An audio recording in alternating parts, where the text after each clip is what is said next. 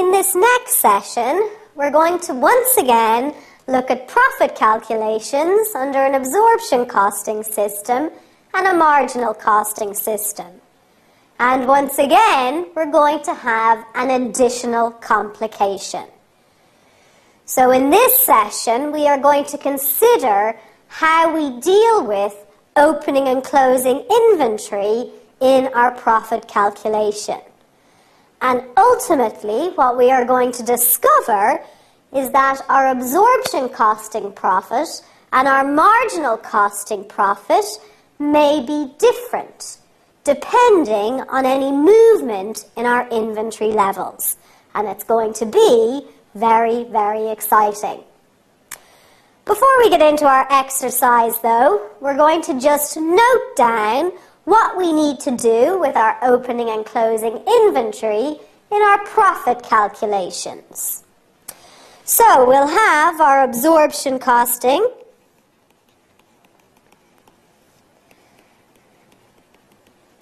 And our marginal costing.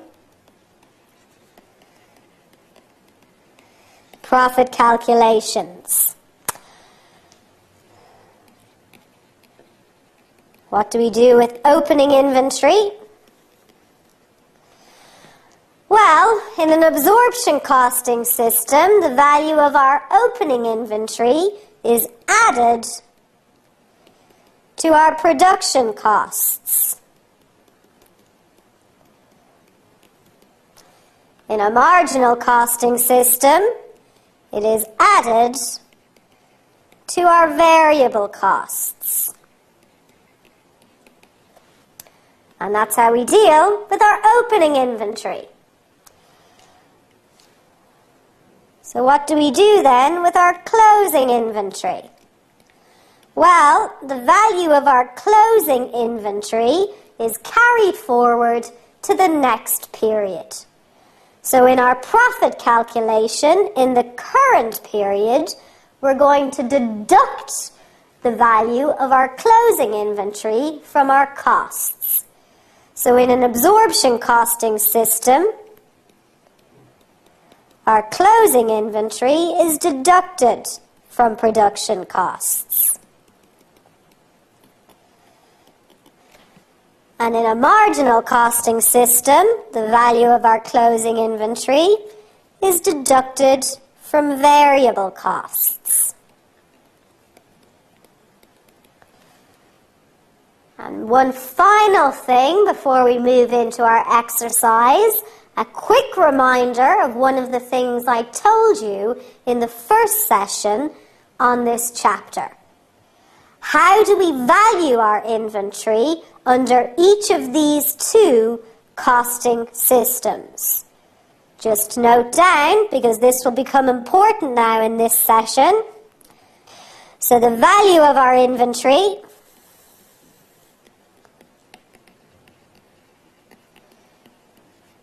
per unit in an absorption costing system will be the full production cost per unit. And remember, in a marginal costing system, it's going to be the variable production cost per unit only. And we'll need to bear this in mind when we're valuing our opening and closing inventory under each costing system in the next exercise. So let's have a look at our exercise then.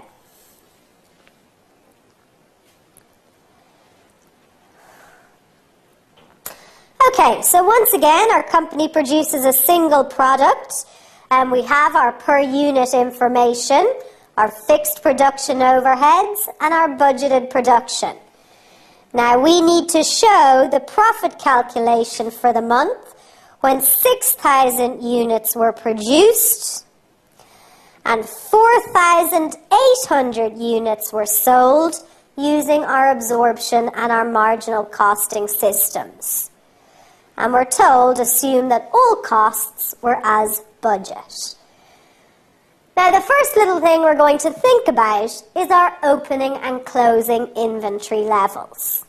We're not told in the question about any opening inventory units, so we can assume that this is zero. So we'll just note down then that our opening inventory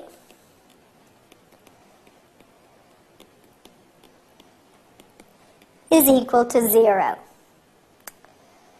And our closing inventory then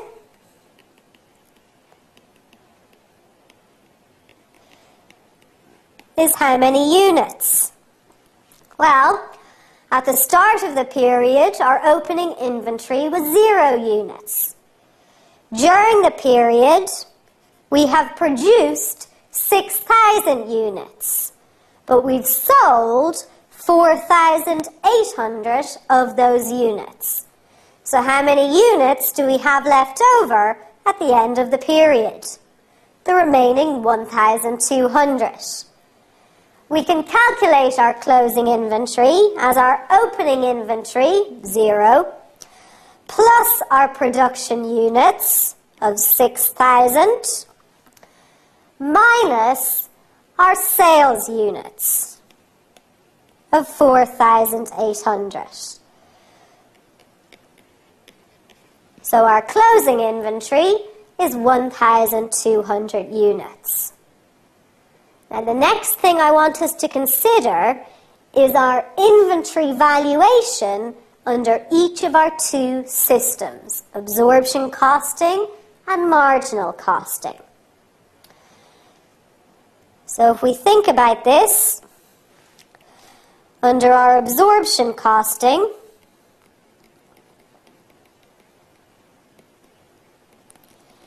it's going to be valued at the full production cost.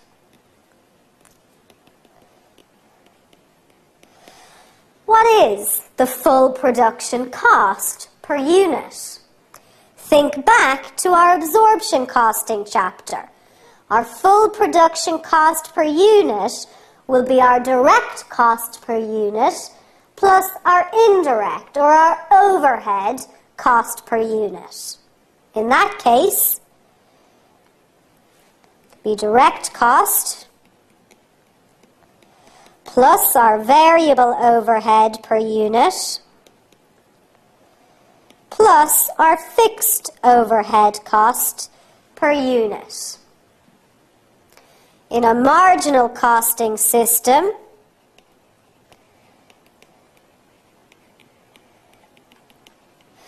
our inventory is going to be valued at the variable production cost.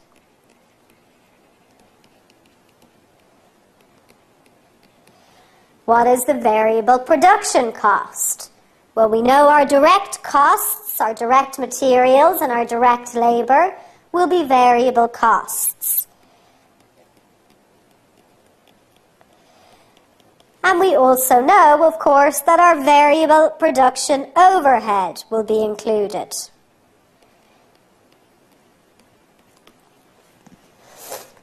So, we can bear this in mind then as we go through our profit calculations. So let's start with our absorption costing system.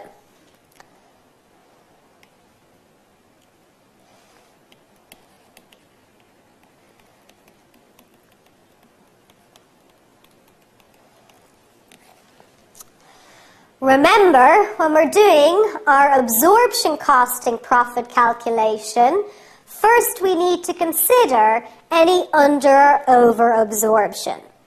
So we need to look at then, at the start of the period, what was the overhead absorption rate that we calculated. Our overhead absorption rate will be our budgeted fixed production overhead costs divided by our budgeted activity. Our budgeted fixed production overheads were £10,000 and our budgeted activity was 5,000 units. So our overhead absorption rate will be £2 per unit. Okay, so let's do a quick check then to see if we've over or under absorbed. By the end of the period, our overhead absorbed will be our overhead absorption rate multiplied by our actual activity. So how many units have we actually produced by the end of the period? Let's have a quick look back at the question. We're told that during the period we produced 6,000 units. For each of these units, we charged or absorbed £2 to our production overhead account. So our overhead absorbed then be our 6,000 units, so our actual activity multiplied by our overhead absorption rate which gives us £12,000. We need to compare this to our actual fixed production overhead cost. We're told that all costs were as budget. Our budgeted fixed costs were £10,000. So our actual fixed costs were £10,000. Finally, then, let's look at have we under or over absorbed? Well, we have charged £12,000 in fixed production overheads to our production account. Have we actually incurred £12,000 in fixed production overheads? No. Our actual cost was only £10,000, which means we have charged too much to our production account. Remember, if our overhead absorbed is greater than our actual overhead incurred, then we have over absorbed.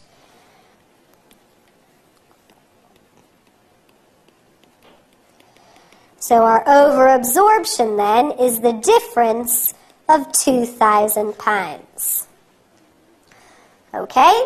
Once we've done that step, we can get on with doing our profit calculation in our absorption costing system.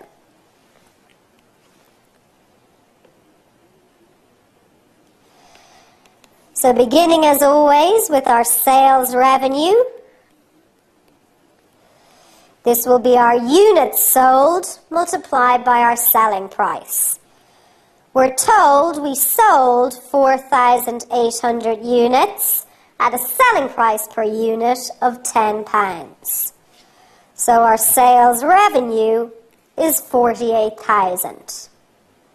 Next thing we'll look at are the production costs.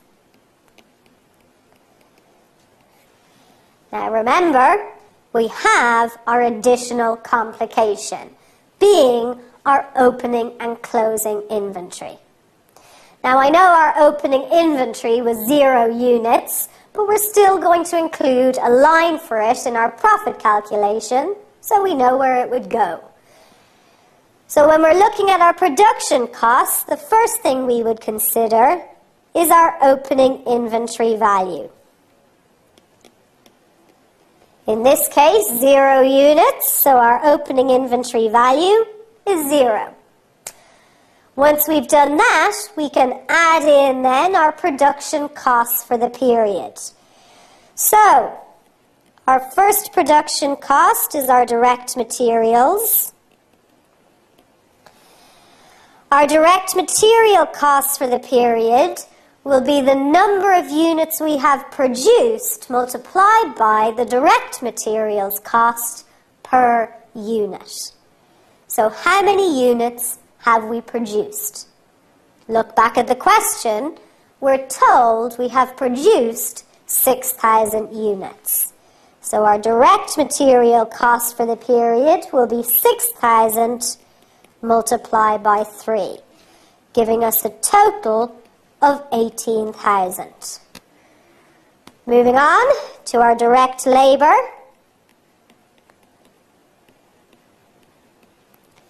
Again, this will be the units we have produced multiplied by the direct labour cost per unit. So 6,000 by 2 gives us 12,000. Next production costs will be our variable production overheads. Again, the units we have produced multiplied by our variable production overhead cost per unit. 6,000 by 1 gives us 6,000. Now we need to look at our fixed production overheads and we'll start with our fixed production overhead absorbed. We've already worked this out when we were calculating our under or over absorption and we said that we had absorbed £12,000 in fixed production overheads by the end of the period. Now we just need to adjust this for our over absorption. If we have over absorbed, then it means we have charged too much to our production account.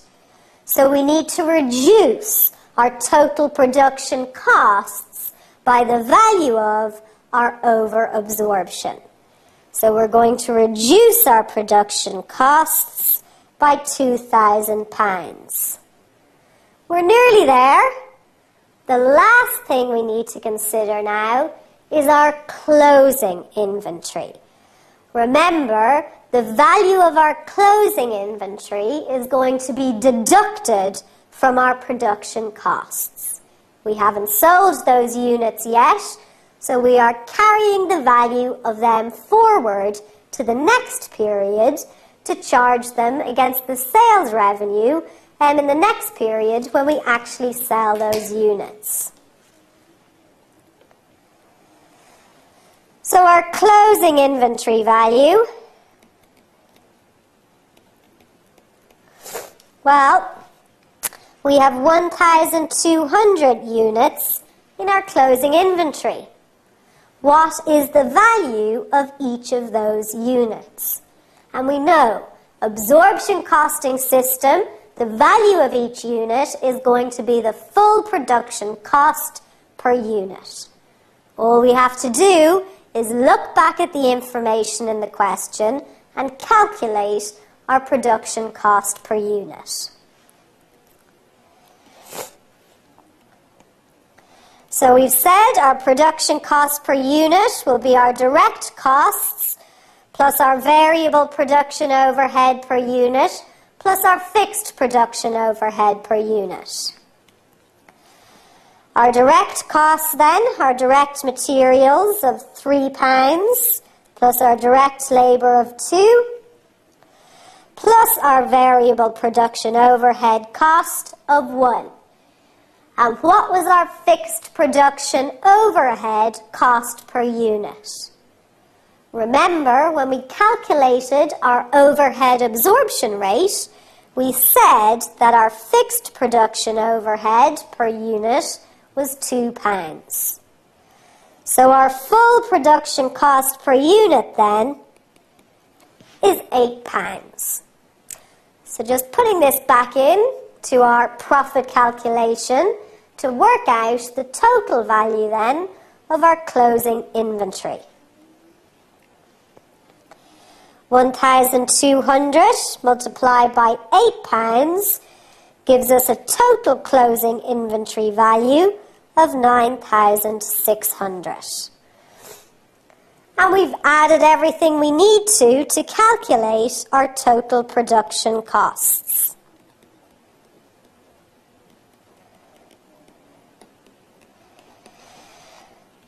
So, when we sum our total production costs, you should get 36,400. And we know we subtract this from our sales revenue to get our gross profit. Our sales revenue was 48,000 minus our production costs of 36,500 gives us a gross profit figure of 11,600. And we're done with our absorption costing profit calculation. Now we just need to do our marginal costing profit calculation. And we know that this is going to be more straightforward because we don't need to consider any under or over absorption. So let's have a look then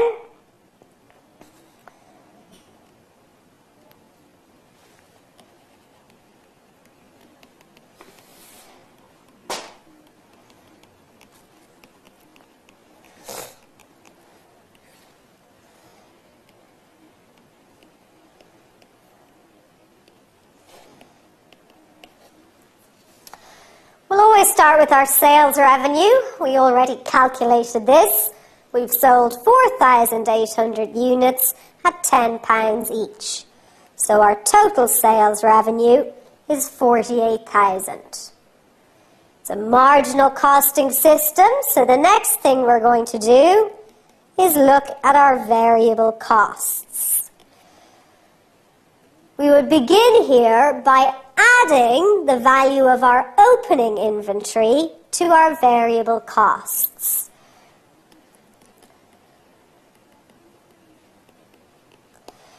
We know we have zero units in our opening inventory, so this is just zero. Add on our variable costs for the period. We don't need to do these calculations again. We did them in our absorption costing exercise. So we'll just add on the totals. We've got our direct materials, 18,000. Our direct labour of 12,000. And our variable overhead cost of 6,000. Last little step then, remember we need to deduct the value of our closing inventory from our variable costs.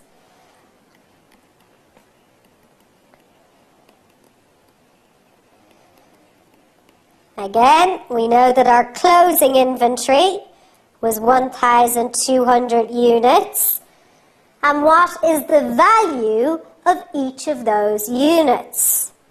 Let's have a look back to what we said at the start of the question. We said in a marginal costing system, our inventory will be valued at the variable production cost per unit. So that'll be our direct costs plus our variable production overhead only. Our direct costs are the same. We've got materials of three and labour of two pounds. Then we just add on our variable production overhead, giving us a per unit value of six pounds. Okay, so we'll use that then to value our inventory in our marginal costing profit calculation. So the total value of our closing inventory, 1,200 multiplied by 6, gives us 7,200. So our total variable costs then, when we just work that through, you should get 28,800. We'll subtract that from our sales revenue to give us our total contribution.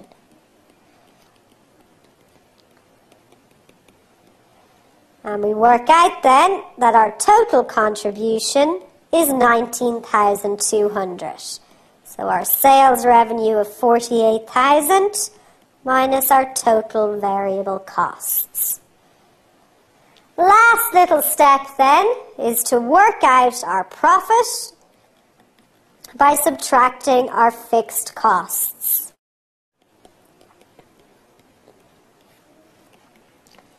So our profit is 9,200 under our marginal costing system. But how is this possible? A few moments ago, we calculated our profits under an absorption costing system, and we said that our profit figure would be 11,600. So, if we're looking at the same company and the same results, how are these two figures different? Well, the reason why our marginal and our absorption costing profits are different is because of our inventory valuation. Let's have a look again at our closing inventory under each profit calculation. In our marginal costing profit calculation, we said the total value of our closing inventory was £7,200. This was based on a per unit value of £6. So we reduced our costs for the period by £7,200 in total. Quick reminder what did we do in our absorption costing profit calculation? If we go back and have a look, in our absorption costing profit calculation, we said something different. When we were valuing our closing inventory, we said the value of each unit was £8. So we got a total closing inventory value of £9,600. And we reduced our costs by the full value of 9600 So in our absorption costing system, because we have put a higher per unit value on our closing inventory, it means that we have carried a higher amount of our costs forward to the next period. What we're going to look at now is a number of key rules. If you learn these rules, then you will be able to approach any question on this section. So, what are our key rules?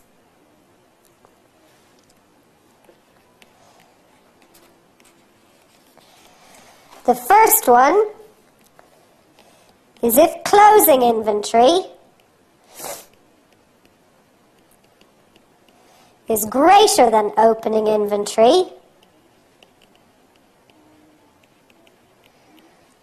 so if our inventory holdings have increased across the period, then our absorption costing profit will always be greater than our marginal costing profit. That's rule number one. Rule number two is the reverse. So if closing inventory is less than opening inventory, or in other words, if our inventory holdings have decreased across the period, then our absorption costing profit will always be less than our marginal costing profit. Finally, how do we calculate the difference? Well, there's a formula when calculating the difference between our marginal and absorption costing profits. The difference in profits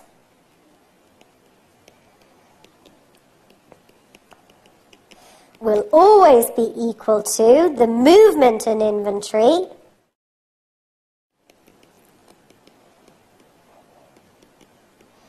multiplied by the fixed production overhead cost per unit. Remember, it is the fixed production overhead cost per unit that creates the difference in our inventory valuations. In an absorption costing system, we include the fixed production cost per unit as part of our inventory valuation. In a marginal costing system, we only look at the variable costs. Now we're just going to have a look at the information in the exercise we've just worked through to illustrate how these rules are always true. So, in the previous exercise, we calculated an absorption costing profit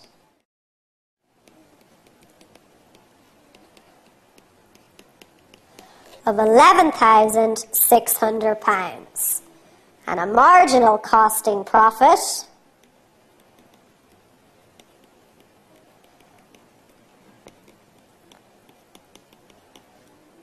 of 9,200. So the difference then in the profits was 2,400. Okay.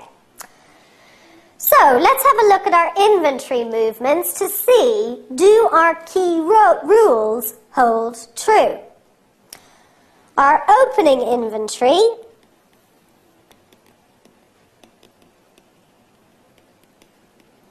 was zero. Our closing inventory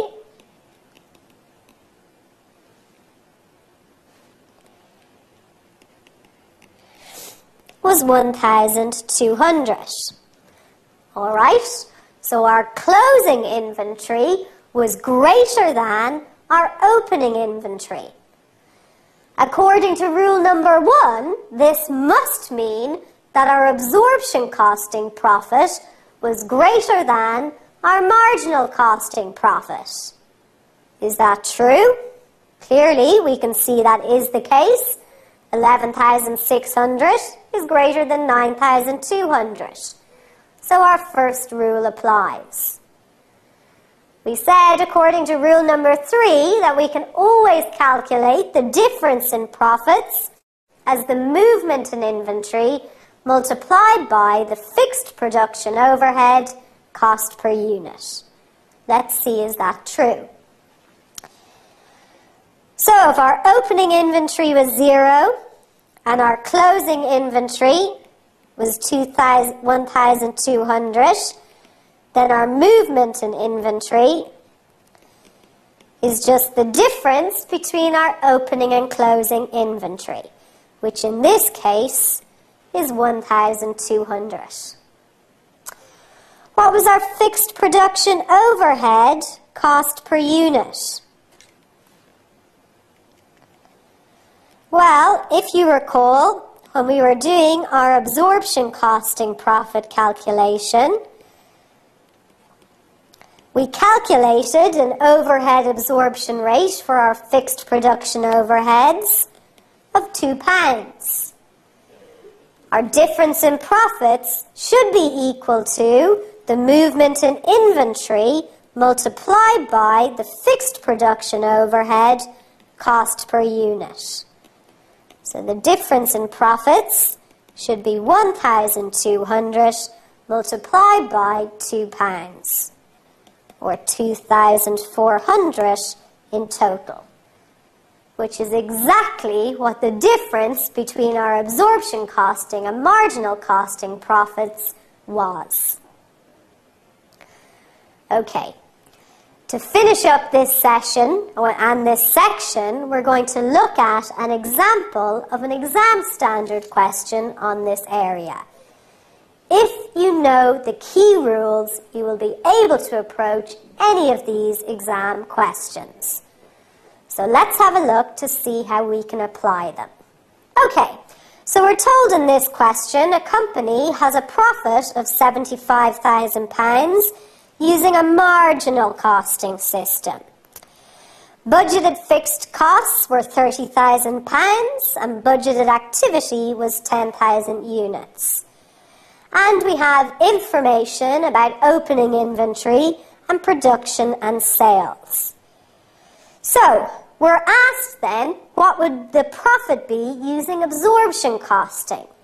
This is a very typical question for this area.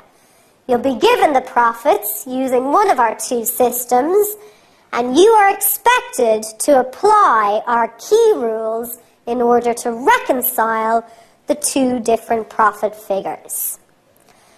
In a question like this, the first thing you need to consider are the inventory movements. so that you can understand whether the absorption costing profit will be greater than or less than the marginal costing profit. So we have our opening inventory and our production and sales. What was our closing inventory? We can calculate this as our opening inventory of 500 plus our production 10,500 minus our sales of 10,750 giving us a closing inventory then of 250 units. So the first thing we know then is that our closing inventory is less than our opening inventory. According to rule number two, this means that absorption costing profit will be less than marginal costing profit. So we have our first piece of information. The second thing we need to calculate is what the difference in these two profit figures will be. Remember, the difference will be the movement in inventory multiplied by the fixed production overhead cost per unit. If we have a look back at the question, our fixed production overhead cost per unit will be our budgeted fixed costs of 30,000 divided by our budgeted activity of 10,000. So our fixed production cost per unit is 3 pounds. Our opening inventory was 500, our closing inventory was 250, so our movement in inventory is just the difference between the two. So our movement in inventory is 250 units.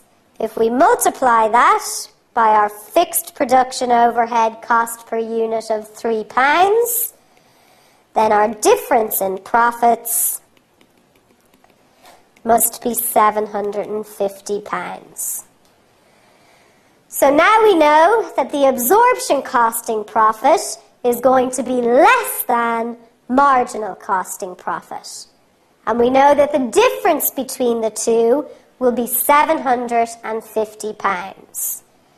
So our final step then is to calculate our absorption costing profit.